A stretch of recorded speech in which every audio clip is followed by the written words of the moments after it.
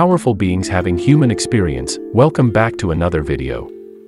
If you are crystal clear about what you want, and keep taking constant action toward making it happen, but God, the universe, the supreme creator of all, or the divine consistently presents you with something you don't want. It is time to lean into it and uncover what it is you need to learn, gain, experience or work through. Sometimes the universe delivers exactly what we ask, in a way that feels like exactly what we don't want. This can make it very difficult to see and feel that you are being supported. I promise you, you are always being supported no matter what is going on in your life. When it feels like things are not going your way, you have to stop and be honest about where you are blocking the flow. Oftentimes, these blocks come from the fact that we don't realize we are being given exactly what we want, exactly the way we need it. The universe, or God, Goddess, the Supreme Creator, or the Divine whatever you choose to refer it, isn't a magic genie where your wish is its command.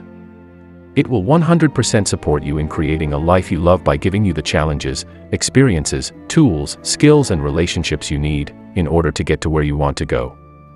Sure, it would feel better if you just got the awesome job. If Prince Charming just showed up at your door already.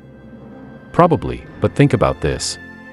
You might not be the person you need to be in order to really thrive in that job, relationship, or experience without going through something else first. If you are crystal clear about what you want, and keep taking constant action toward making it happen, but the universe consistently presents you with something you are resisting, it's time to lean into it and uncover what it is you need to learn, gain, experience, or work through. Sometimes the things you are resisting are a necessary part of the journey. And you are not going to get there if you continue to push back. Sometimes opportunities and connections we need are not where we think we are going to find them. Sometimes we need to be in challenging relationships or jobs to get clearer on what we do want, learn about ourselves and grow in ways we never would otherwise. The number one thing you have to do is to look for the lessons or the gift. If you are being presented with a challenge or something other than what you wanted, learn to look for the lessons or the gift. What can be learned or gained from the situation or relationship? Where do you need to grow? How can you be of better service, show up more fully, or learn to be more compassionate? What tools are you gaining? There is always a lesson and gift in every situation. Make sure to look for them and find them. Number 2. Stop resisting and start moving with the flow of the universe. Releasing your resistance does not mean that you can't continue going after what you want, it means that you are allowing life to unfold as it should. It also means learning how to show up to each and every moment fully present. Doing and being the best that you can in every situation, regardless of whether it is an easy or challenging situation. How you do anything is how you do everything, so learn to show up completely and give your all to every person and situation you find yourself in. Number 3. Stay positive, chosen ones. Mindset is everything, you have to stay positive. Yes, feel what you are feeling and if you need to fall apart or get upset, that is completely okay. Process whatever you are feeling, but don't let it consume your spirit and drag you down. Star Seeds, have you ever experienced this in your life? What was the situation and what did you end up learning or gaining that helped you get to exactly where you wanted to be? Maybe you are experiencing this right now. If so, leave a comment below on what is showing up in your life that you are resisting. The universe does not give that which you cannot handle, it merely enables things to flow into your life. What you expect from the universe is not about the universe at all. The universe allows its laws. It allows the universal law of attraction to exist, and by consequence allows everything that makes you who you truly are today. Humanity has always pinned consequences on someone, there is nothing that can happen without an intervention by an entity. But that is not only wrong, it is quite the opposite. Everything we do is governed by the random interactions at the quantum level. Is it predictable? Only about as much as you can predict the winning numbers on a lottery. Can you determine a path of events that would lead to a favorable outcome? Only about as much as you can determine if going to sleep early tonight means you will wake up rich tomorrow. You are a paintbrush, your wants is your imagination. Your life is your paint, the outcomes of your choices are your artistic talent, the universe is your canvas. However, all the while you have been putting more efforts into your goals, but unfortunately, you keep getting the opposite result. Success, happiness, love, wealth, health are elusive. They are like mercury, the closer you get the far they run. It is like trying to reach the horizon, the more you chase it, the farther it moves leaving you frustrated. This chase makes us think irrationally, do things we wouldn't otherwise. You want a relationship. You need to be calm and find the one that takes a step towards you with every step you take towards it. It is not going to work when you take 10 hasty steps and the other person feels threatened or intimidated. You want to learn a skill, then don't look at what the masters created, look at the very bottom, what did novice make? Then you will see that whatever you made or learned seemed satisfactory.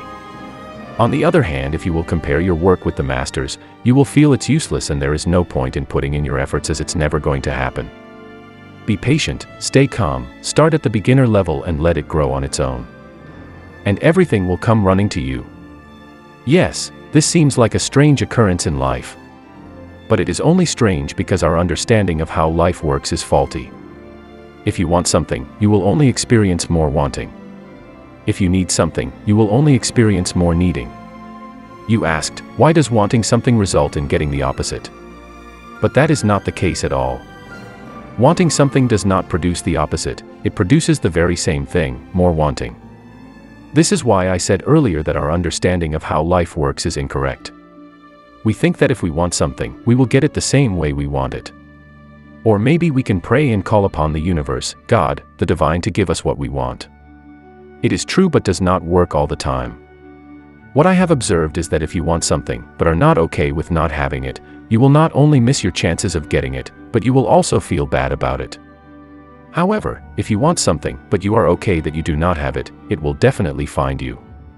Life orchestrates itself to bring it to you, and you to it. Your wanting becomes mere desire. Life takes care of everything else. The universe responds and sends you messages all the time. Everything you see out there is a response to what you are thinking, feeling, and believing. But here is the really exciting news you can make your world change within hours. How can you do it? Stop resisting, because whatever you resist persist.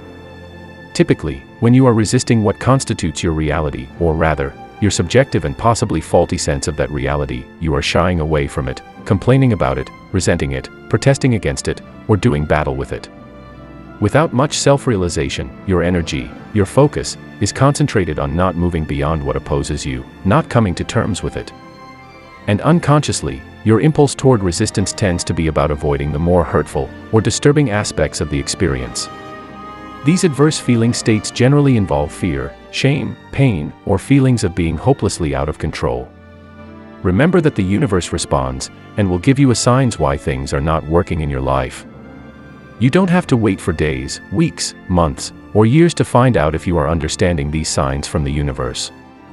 You don't have to wonder if the laws of attraction is working for you. I know, it always works, but you know what I mean. Even though a creation may take longer to fully manifest, we can know we are on the right track, simply by paying attention. We constantly receive signs that our prayers are working. But the problem is, most people don't respond to the signs, because they don't realize they are signs.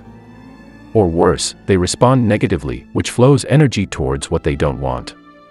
So, the first step towards understanding why things are not working for you is to master the laws of attraction. A general rule in the law of attraction states that whatever you resist tends to persist. If you have studied the law of attraction, you understand the concept that whatever you push against pushes back. It is why waging wars doesn't work, and why the fight against anything produces more of the same. It is an easy concept to grasp, but a difficult one to practice.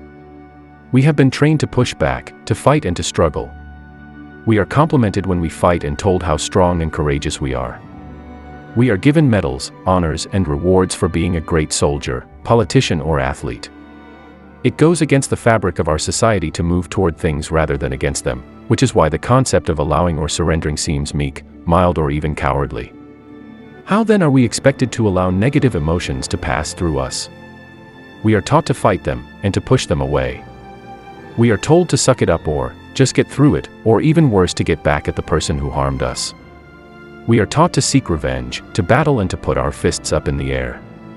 We have many coping mechanisms to extinguish our emotions, drinking, drugs, overeating, immersing ourselves in works and exercising. While exercising may be the most positive form of a coping mechanism, it can also simply be another method of running away or resisting what ails us. When we feel heartache, we search for ways to push against it, to negate it and to not allow it to enter us. Have you ever felt a pain deep in your heart, felt the center of your chest start to squeeze as if it were in a vice? And what did you do? Did you surrender and allow yourself to feel or did you push against it, afraid of feeling the pain? When we don't allow the pain to enter, it is a form of resistance. We are in fact, embedding that pain within our bodies. We are keeping it in our organs and our cells. The more we resist feeling something, the more it tends to remain within us. So what can you do to receive what you want from the universe? The answer is to stop resisting your current situation.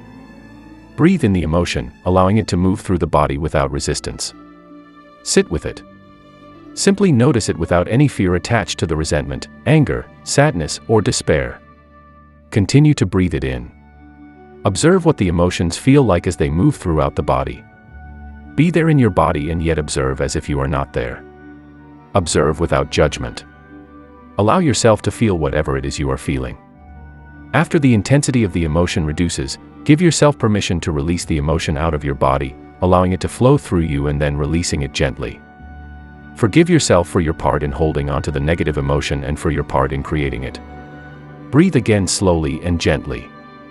Think of expanding your heart. Opening it, making it wider and feel the possibility of love replacing the negative emotion you were holding. Allow more positive feelings to feel your body and mind, and more positive things will start flowing into your life. I hope this video was really helpful. See you in my next video. Peace, love and life.